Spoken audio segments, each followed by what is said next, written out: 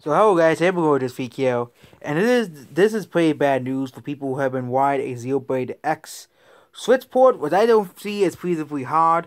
This is the you know, personally speaking, I would love to play the game on Switch, but it would be very difficult to make it, even though it's much more bigger games on the Switch than Xenoblade Chronicles X is a Wii U game. They can't.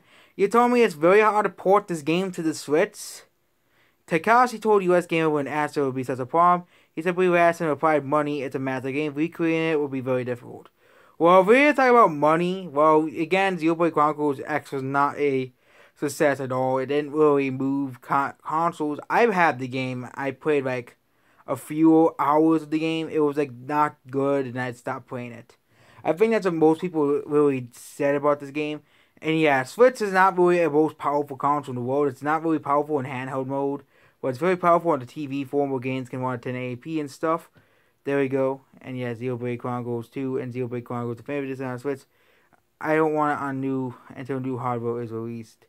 Again, Xenoblade Chronicles 1 and 2 are on the console, so yeah, if you really want your Zero Xenoblade fix, let's play those two games, really. Not pulling it here. Is any time about we making it not pulling here, but then we go down here the the this is the week roadmap for the this is a gold mine. The week roadmap for Nintendo Switch. So Semi oh Semi Tensei Five is in the wrong year. I realized that they're gonna re- they're releasing that in 2021. And uh, you know here, so yeah, that's the only thing they got wrong here. Xenoblade Mario Kart 9 Zelda Collection Zero eh, Semi Tensei is in the wrong year.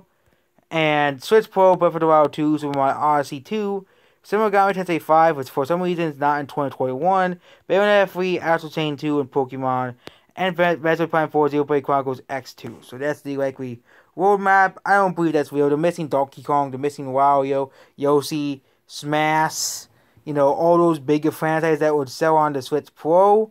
You know, it's just why would you not put Smash Bros.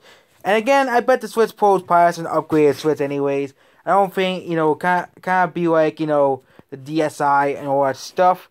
And yep, there we go. You know, here, you know, Series S when docked.